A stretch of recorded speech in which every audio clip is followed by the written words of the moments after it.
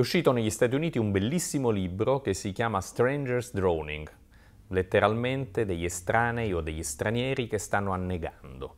Ne è autrice Larissa McFarquhar, una delle firme più prestigiose e autorevoli del New Yorker Magazine.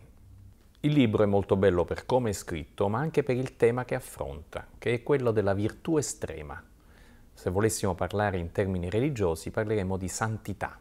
Esiste oggi nel mondo secolare, nel mondo capitalista, nel mondo liberista, la possibilità di essere dei santi, di avere una virtù estrema. Il libro della McFarquhar pone una seconda domanda ugualmente importante. È possibile avere, perseguire una santità di tipo laico? In altre parole, è possibile perseguire una virtù estrema se non c'è un richiamo trascendente, metafisico, di un qualcuno o un qualcosa che ci impone una legge morale? Siamo in grado, noi esseri umani, ad essere buoni? È una domanda alta, importante, eterna. Come ricorderete, Dostoevsky una volta scrisse se Dio non esiste tutto è possibile, intendendo dire tutto è consentito, tutto è lecito, ogni possibilità di male avverrà.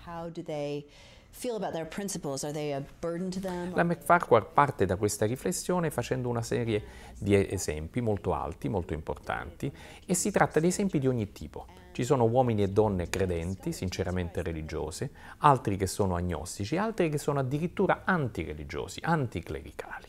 Ognuno di questi personaggi fa del bene. Lei li chiama i do-gooders, coloro che fanno appunto del bene.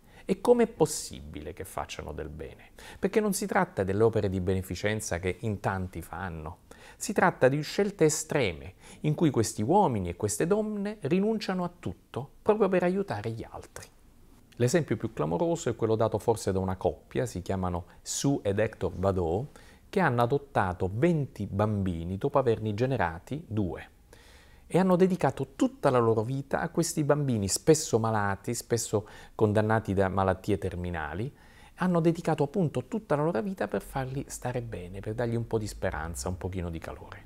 In questo caso si tratta di un uomo e una donna con una forte convinzione religiosa, sono cristiani, ma in altri casi, dicevamo, questa fede non c'è. Per esempio nel caso di un, uomo soprannominato Baba, che in India ha aperto un lebrosario dopo essersi vergognato di non aver saputo accogliere, abbracciare appunto un lebroso. Lui è convinto che invece la religione sia addirittura un male.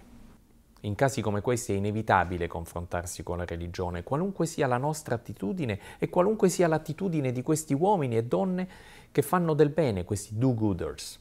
Nel Vangelo di San Giovanni al terzo capitolo c'è scritto gli uomini preferiscono le tenebre ed è un passaggio che fa paura, come dire che l'uomo tende al male, ma c'è bisogno di un redentore.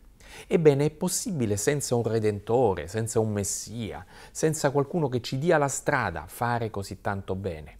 E com'è possibile che oggi, in una società che tende sempre di più al consumo, tende sempre di più al cinismo, sembra ignorare il dolore degli altri, per citare un bellissimo libro di Susan Sontag, com'è possibile appunto che ci sia qualcuno che voglia fare il contrario? L'uomo o la donna è tendenzialmente buono o cattivo? E quando fa una scelta così estrema, a cosa obbedisce? Io non ho una risposta e credo sinceramente che nessuno ne abbia una precisa. Mi limito ad analizzare che un intellettuale inglese, anche se newyorkese di adozione, rifletta, analizzi su un tema così importante. E già questo suo anelito, già questa sua riflessione, già questo suo sottolineare che il bene possa esistere è bene in sé. Un saluto da Central Park West.